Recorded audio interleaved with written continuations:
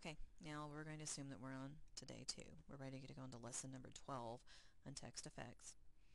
We go to the website, we go down to 12. Again, you're going to have three. You're going to pick from them. They go from easy to hard. So let's start off with the knockout text. So I'm going to click on the link. End up making something that looks kind of like that.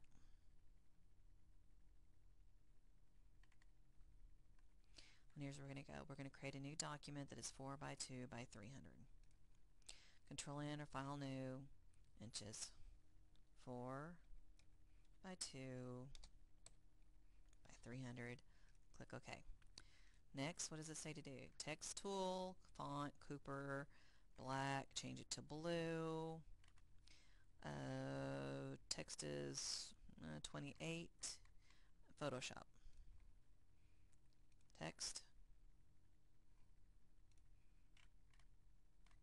Cooper Standard.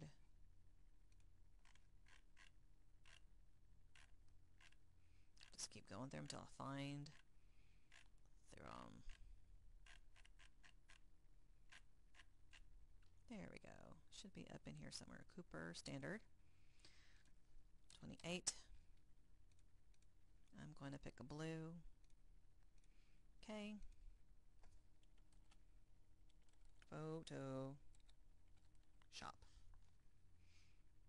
check, black arrow, selection tool to move it. There we go. Okay, we have Photoshop in there. Next it says to do your free transform. Hold your shift key to make it bigger to fill up the page. Okay, we can do that. Edit, free transform or control T.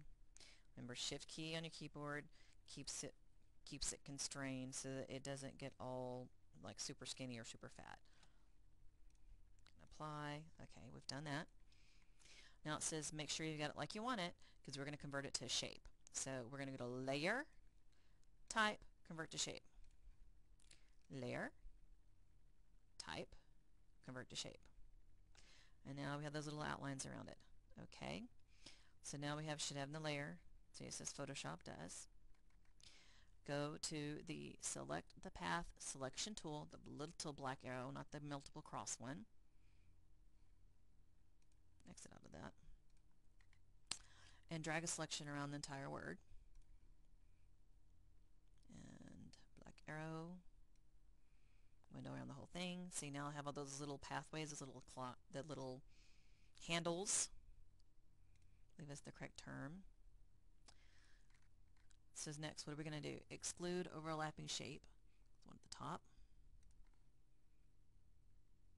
Exclude overlapping shape.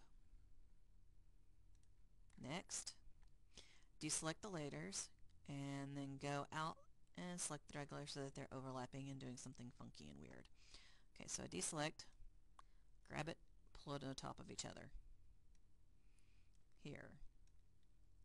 Dun dun dun. I could even do that control T again and spin them around, whatever you want to do, it doesn't really matter. Just have a little fun with it and you put them together. Sorry. This one goes maybe here, here, there, crazy. Maybe I want to add some really cool effect to it. Layer. Oh, where is that one again? Hang on, sorry. Uh, la, la, la, la, Photoshop, vector from around the text, go to the out of it, go to text effect tutorials or layer styles. That's what I thought it was. So we got it deselected. Move it to fit around in here, maybe even crop, etc. Layer, uh. And you can play with the different ones, applying them to them. Let's say, dun, dun, dun, whatever. Anyway, so you've got your basic one done. File, save as, my computer, U drive, 7. This one would be lesson 12A if you selected this one to do. And this one would be overlap. And that's essentially it. Congratulations, you did it.